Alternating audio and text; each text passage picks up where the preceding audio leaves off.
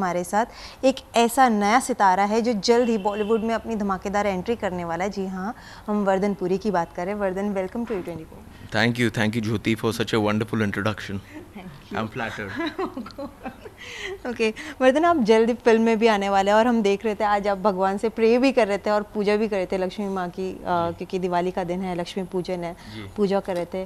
क्या क्या मांगा? क्योंकि फ़िल्म भी रिलीज़ पर है। क्या क्या मांगा वो तो नहीं बता पाऊँगा क्योंकि मेरा और भगवान का जो रिश्ता है थोड़ा पर्सनल है।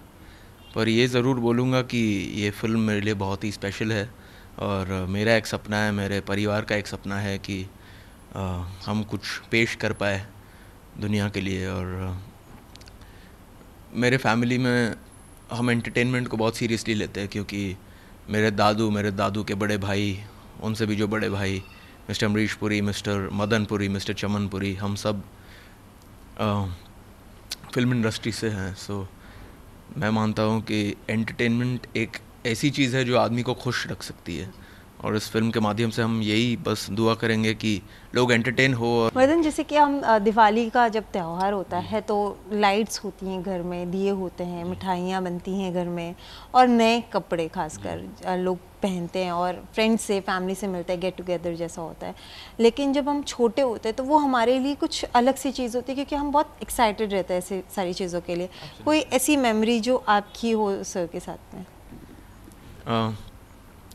एक रेयर चीज़ ये है कि आम तौर पे जो दादू होते हैं, दूसरे लोगों के, वो after the age of sixty sixty five वो लोग घर पे रहते हैं और बहुत टाइम दे पाते हैं अपने परिवार को। मेरे दादू सिक्सटी और सेवेंटी की उम्र के बीच में इतने बिज़ी थे कि काफ़ी बार हम त्यौहार पे उनके साथ रह नहीं पाते थे क्योंकि वो दिन में अठारह बीस घंटे शूटिंग कर रहे होते थे।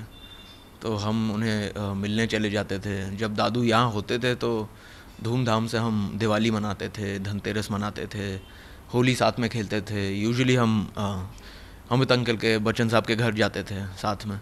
सो so, जितने भी फेस्टिवल्स हैं वो साथ में बड़े मज़े से हमने गुजारे। कि अवर्धन चाहेंगे जाते जाते जो ये इंटरव्यू देख रहे हैं व्यूअर्स उन्हें क्या कहेंगे? क्योंकि आज दिवाली का मौका है और अमरीश पुरी उनके फेवरेट विलन कह लीजिए, अभिनेता कह लीजिए, वो उनको बहुत पसंद करते थे। और अब आप आने वाले हैं इंडस्ट्री में, क्या कहना चाहेंगे?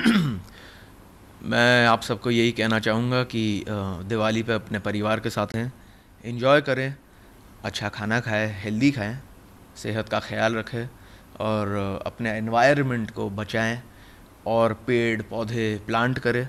पॉल्यूशन ना करें, क्योंकि हम रिस्पॉन्सिबल है, हमारे बच्चे होंगे, हमारे पोते होंगे, पोतियाँ होंगी।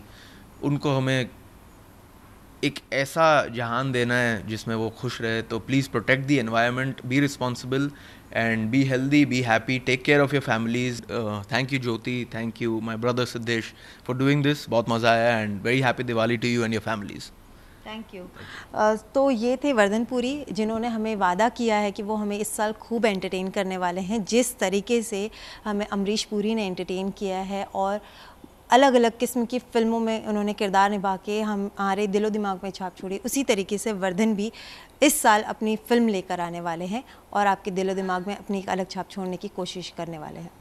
कैमरामैन से देश के साथ ज्योति शर्मा ई ट्वेंटी मुंबई।